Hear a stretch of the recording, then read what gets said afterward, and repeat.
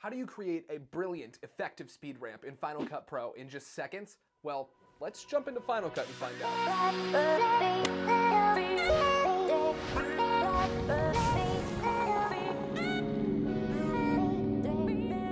But before that, I do want to say thank you for tuning into Espresso, the value-packed tidbit series from Full Mug Media. I'm your host, Kane Nash. Now, let's let's jump into Final Cut. First, what you're gonna wanna do is you're gonna wanna find the video clip that you wanna work with and drag it into your timeline.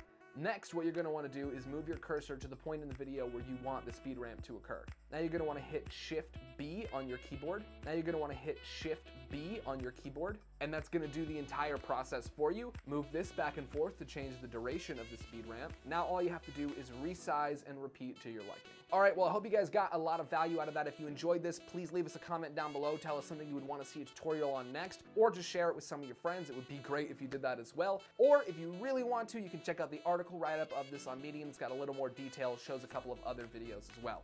All right, thank you guys for tuning in, and I will see you next time.